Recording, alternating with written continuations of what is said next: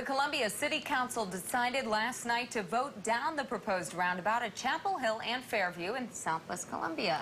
And after hearing public comments for more than an hour, the council decided more research needs to be done. Before tonight's breaking news, ABC 17's Deborah Kendrick spoke with a council member who doesn't believe the measure will come back up for a couple years. I'm also concerned about the safety of the countryside um, children. Um, countryside's been there a long time. And if it, Rebecca, I don't want to repeat myself, but a roundabout, they come in a lot faster than they do a stop sign. Residents in South Columbia voiced their concerns last night at the Columbia City Council meeting for more than an hour about the proposed roundabout at Chapel Hill in Fairview. Residents in the area believe that adding a roundabout here at Fairview and Chapel Hill will only make people speed more because they won't be coming to a complete stop.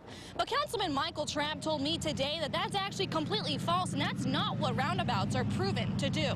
Roundabouts are designed to lower speeds. There's the curve the, of the roundabout that you have to slow down um, to take that curve. When people stop at stop signs, uh, frequently then they'll accelerate very, very quickly. The Columbia City Council voted down the proposal last night, but instead decided to wait to vote in the future until more research is done. Until we see if growth, if the growth projections live out um, because that's the other argument that Councilmember Thomas raised is that, you know, is traffic really growing? You know, are those, because, you know, overall, um, traffic growth has been flat for the last 10 or 15 years. Some of the research would include how the construction with the Nifong widening project would direct traffic to Chapel Hill and Fairview, and a more detailed review of the Fairview and Rollins roundabout and how that is doing or if it's even being effective.